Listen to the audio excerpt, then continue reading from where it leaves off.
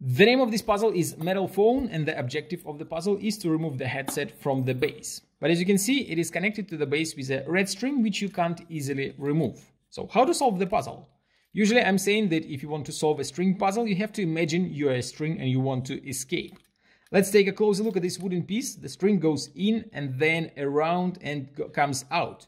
But if you pull the string, it just goes inside and out and nothing really happens. So how to remove the string? First of all, take a close look at this disc with a cutout and align this cutout with a bigger cutout on the other side of the wooden piece. And now put the string inside this big cutout and pull it out. Then grab the string and move it around the wooden piece with the disc and now just pull out the string and the puzzle is solved.